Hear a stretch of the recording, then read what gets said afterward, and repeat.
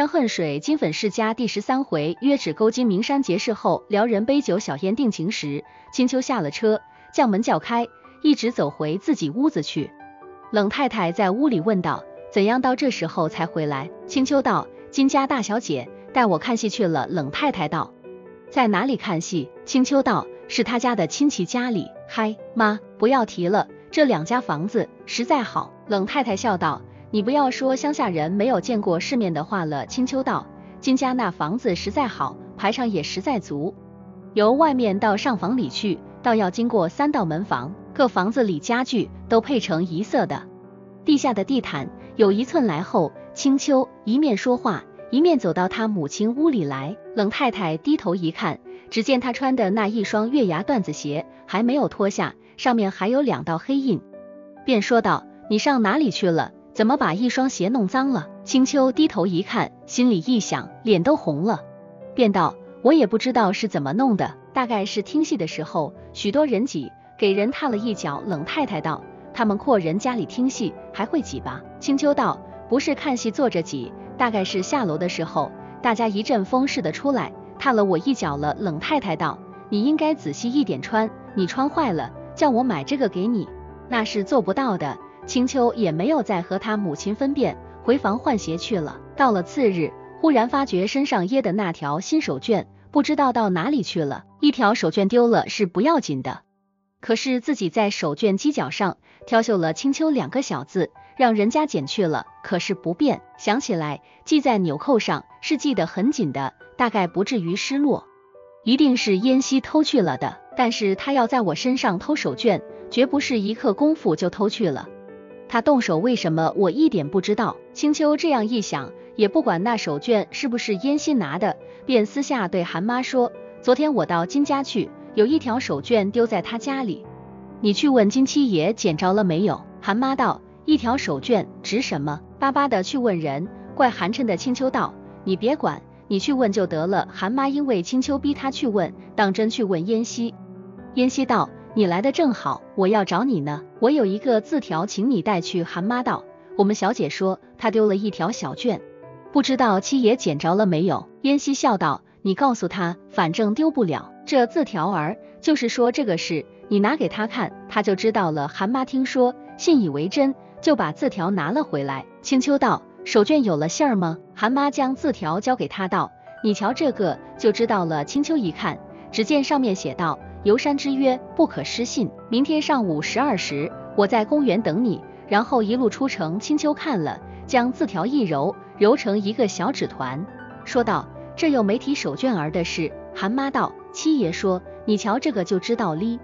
他不是说手绢，又说什么？”青秋顿一顿，说道：“是些不相干的话。说昨天到他家里去，他家招待不周，不要见怪。”韩妈不认识字，哪知他们葫芦里卖什么药。也就不复再问。青秋等他走了，把揉的那个纸团重新打开看了一看，心里一想，到西山去，来去要一天整的，骗着母亲说是去会同学，恐怕母亲不肯信。若是不去吧，又对燕西失了信，踌躇了好一会，竟不能决。但是盘算的结果，赴约的心事，究竟战胜了他怕事的念头。次日一早起来，就赶着梳头，梳好了头，又催着韩妈做饭。冷太太道：“你又忙什么？吃了饭要出去吗？”青秋道：“一个同学邀我到他家里去练习算学。”冷太太见他如此说，也就不追问。一会儿吃了饭，青秋换了衣鞋就要走。冷太太道：“你这孩子有几件好衣服，就要把它穿坏了是？到同学家里去，何必穿这些好衣服？”青秋道：“你老人家都是这样想，有了衣服留着不穿。可是到了后来，衣服不时新。”又要把新的改着穿了。冷太太道：“你要穿就穿起走吧，别说许多了。”青秋坐车到了公园，早见燕西的汽车停在门口。青秋走进去，遥遥的就见燕西在树林底下的路上徘徊张望。他一看见，连忙迎上前来，笑道：“你才来，我可饿极了。”青秋道：“你怎样饿极了？”燕西道：“我没吃饭，等着你来吃饭呢。”青秋道：“你早又不告诉我。”我已经吃了饭了。燕西道：“吃了饭吗？你陪我到大餐馆里去吃点东西，成不成？”青秋道：“我吃了饭来的，我怎样又吃得下？”燕西道：“我这是痴汉。说时连忙把话忍住了。青秋笑道：“你就说我是丫头也不要紧，我看你们府上的丫头都花朵似的，恐怕我还比不上哩。”说着对燕西抿嘴一笑。燕西笑道：“不用着急，也许将来有法子证明你这话不确。走吧，我们去吃点东西。”青秋道：“我实在是不要吃了，陪你去坐一会儿得了。”二人走到露台上，捡了一副座头。燕西便叫西仔递了菜牌子过来，转交给青秋看。青秋道：“我实在不吃。”燕西道：“不能吃，你就静坐在这里看我吗？”青秋道：“也罢，我吃一点果子冻。”燕西道：“不可，刚吃饱饭，不宜吃凉的。”于是叫西仔另送来一杯咖啡，放在他面前，自己一面自吃大菜。菜都吃完了，西仔送了一碟果子冻上来。燕西刚拿了茶匙，将那块冻下的半片桃子一剥。只觉一个沸热的东西按在手背上，低头看时，乃是青秋将喝咖啡的那个小茶匙伸了过来。他笑道：“刚才你不要我吃冷的，为什么你自己吃起冷的来？”燕西笑道：“吃西餐是不计生冷的，但是你不让我吃，我就不吃。”青秋道：“我也让你吃，你也让我吃，好不好？”燕西到了一想，说道：“好，就是这样办。”于是将这碟果子冻送到青秋面前。青秋道。你的给我，你呢？燕西道，我只要一点儿，你吃剩下的给我爸。青秋用小茶匙划着一半冻子，低着头笑道：这样有钱的大少爷，又这样省钱，舍不得请人另吃一碟。燕西笑道：可不是，不但省钱，我还捡人的小便宜呢。说时，在身上掏出一条手绢，向空中一扬，说道：你瞧，这不是捡便宜来的呢？青秋笑道：你不提起，我倒忘了。你是怎样在我身上把手绢偷去的？我怎么一点也不知道？燕西道：岂但手绢而已哉？青秋见他话中有话，也不往下问，只是用那茶匙去翻果子冻，一点一点向嘴里送。约摸吃了一半，将碟子一推，笑道：太凉了。燕西见他将碟子推开，顺手一把就将碟子拿了，放在面前。青秋笑道：你真那么馋，把它拿下去吧。燕西不答，带着笑，一会儿功夫。把两片桃子、半块冻子一阵风似的吃下去了。抬手一看，手表已是一点了，便问青秋道：“我们到香山，还是到八大处，还是到汤山？”青秋道：“谁到汤山去？那是洗澡的地方。就是香山坝宴西会了饭账，和青秋同坐了汽车，出了西直门，直向香山而来。到了山脚，燕西扶着青秋下了汽车。燕西问道：“我们先到旅馆里去？”还是先在山上玩玩。青秋道：“我们既然是来逛山的，当然先逛山。”燕西道：“你不怕累吗？”青秋道：“我们在学校里也常跑着玩，这点算什么？”说时，两人顺着石阶上了一个小山坡。青秋负着那柄小绸伞，越走越往后垂，竟有负不起的样子。站在一个小毯地上，抽出手绢来开汗。燕西顺手接过伞，笑道：“怎么样，觉得累吧？”那边上甘露旅馆是很平稳的，上那边去吧。于是燕西站在青丘身后，撑着伞给他遮住太阳，向这边大道而来。走到甘露旅馆，靠着露台的石栏边捡了一副座头坐下。茶房送了茶来，燕西便斟了一杯放到青丘面前。青丘笑道：“为什么这样客气？”燕西笑道：“古人不是说相敬如宾吗？”青丘端起茶杯来，呷了一口，却是没有作声。燕西喝着茶，朝东南一望，只见山下青纱帐起，一碧万顷，左一丛右一丛的绿树在青地里簇拥起来，里面略略露出屋角，冒着青烟。再远些，就是一层似烟非烟、似雾非雾的东西从地而起，远与天接。燕西道：“你看到了这里，眼界是多么空阔，常常得到这种地方来坐坐，岂不是好？”青丘笑道。可惜生长这种地方的人，他领略不到；能领略的人，又没法子来。燕西道：为什么没法子来？坐汽车来也很快的，一个钟头可以到了。青秋笑道：这是你少爷们说的话，别人家里不能都放着汽车，预备逛山用吧？燕西道：我不是说别人，我是说你呢。青秋道：你说我，我有汽车吗？燕西道：你自然会有的。青秋见他说到这句，抓了碟子里一把瓜子。放在面前，一粒一粒捡起来，用四体雪白的门牙慢慢的刻着，心里可是极力的忍住了笑。燕西又追着问道：“你想我这句话在理吗？”青丘微笑，点着头道：“在理，在理。我若不是有道法，可以变出一辆汽车来，就是做个女强盗，抢一辆来燕西道都不用，你自然会有。你看我这话对不对？”青丘笑道：“你这话或者也对，或者也不对，我可不知道。”燕西道：“老实说了吧，我有汽车，就等于你有汽车。”青丘听了，只是不作声。燕西说了这句话，似乎到了极点了，要怎样接着往下说？也是想不起来，于是两人相对默然，坐着喝了一会儿茶。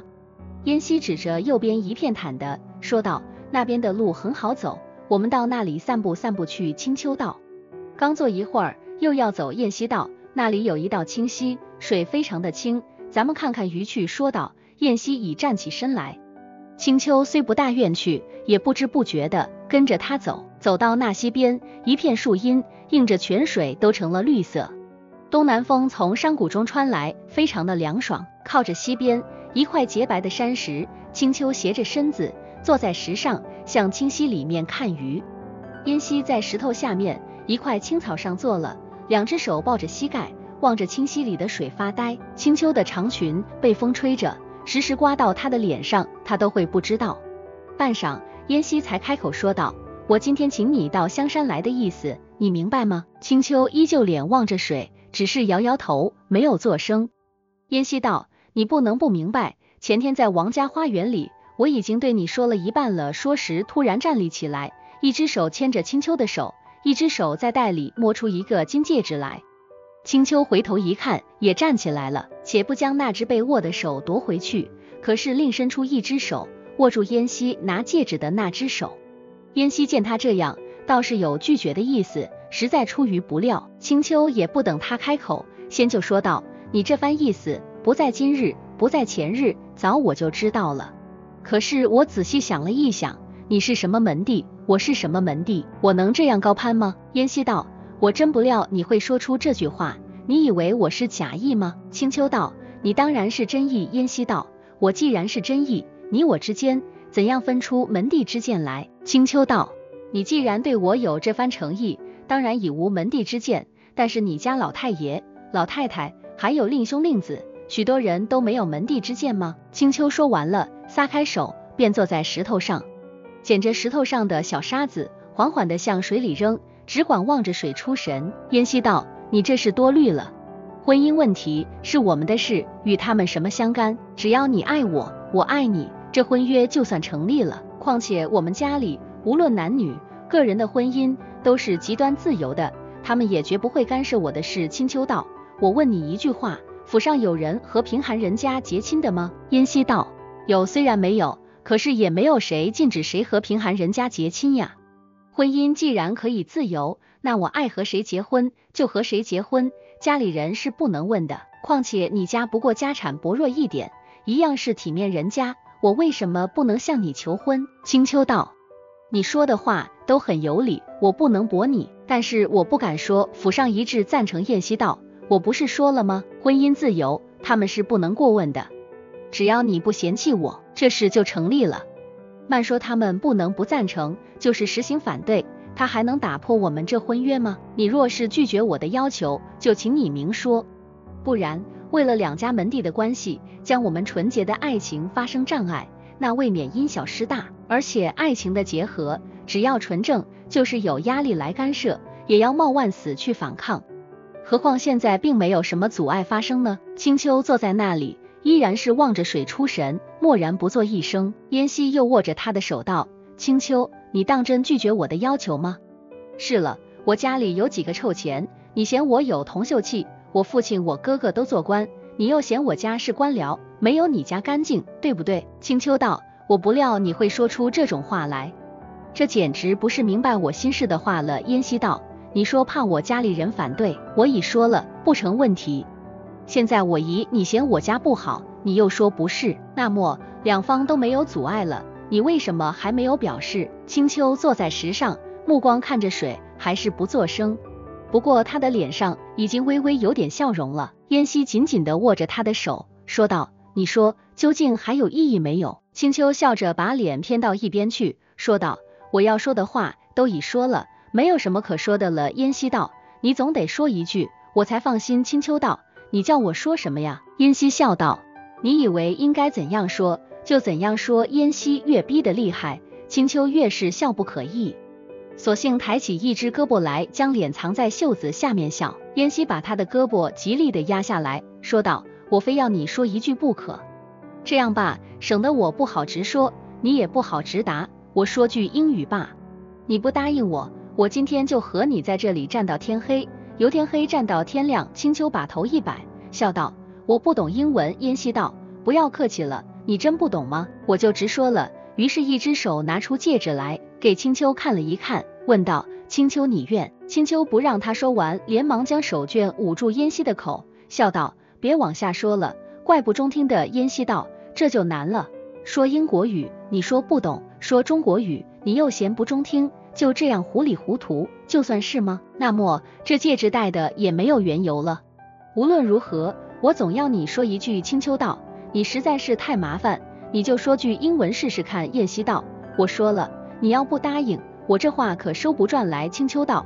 我若是答应不来，怎么办呢？燕西道，很容易答应的，你只要说一个字，答应一个 yes 就行了。你说不说？青丘笑道，就说一个 yes 吗？这个总行的吧？燕西道，你不要装傻了，也不要难我了，我可说了，你可要答应。青丘笑道，当真光说一个 yes 吗？那或者行。燕西道，不要或者两个字，要光说行。青丘笑道，就不要或者两个字。你说罢，燕西于是将青丘的手举起一点来，他也微微的伸出无名指，意思是让他戴上戒指。燕西便道：“Ilvio。”青丘早是咯咯的笑起来，哪里还说得出话？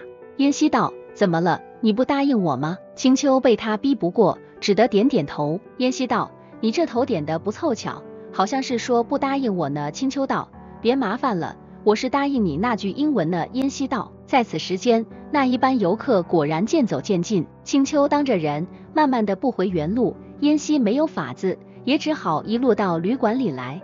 青丘坐下，低头将戒指看了一看，于是对燕西道：“我有一句话说，你可别疑心。这事情，我母亲同意不同意，我是一点把握都没有，得慢慢的和她去说。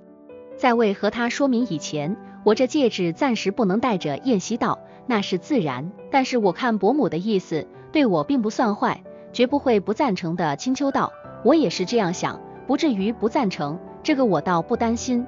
我最担心的还是你那一方面，你上面有好几位老人家，又是大家庭，你回去一说，他们要知道是我这样一个人，一定舆论大花起来，就是你恐怕也受窘。燕西道，你总是这一点放心不下。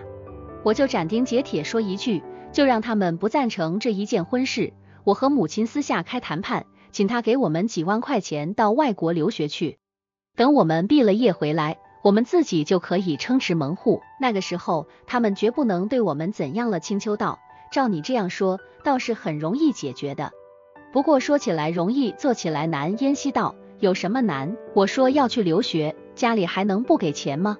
只要他给钱，我们就随便什么时候都可以走了。青丘道，照你说，样样都有理，只是你将来能有这个决心吗？燕西道，怎么没有？我能说出来就能做出来，你尽管放心，不要怀疑。我若说了不能履行，就是社会所不耻的人，永不将金燕西三个字和社会见面。青丘笑道，你为什么发急？燕西道，我不起誓，你不相信，那有什么法子呢？青丘笑道。这是你自己要这样，并不是我逼你的呀。燕西道，这是我诚意的表示，非这样你不能放心的。青丘道，你不要提了，说别的吧。燕西道，我心里很快乐，仿佛得了一种可爱的东西一样，可是又说不出来。你也是这一样吗？青丘抿嘴一笑。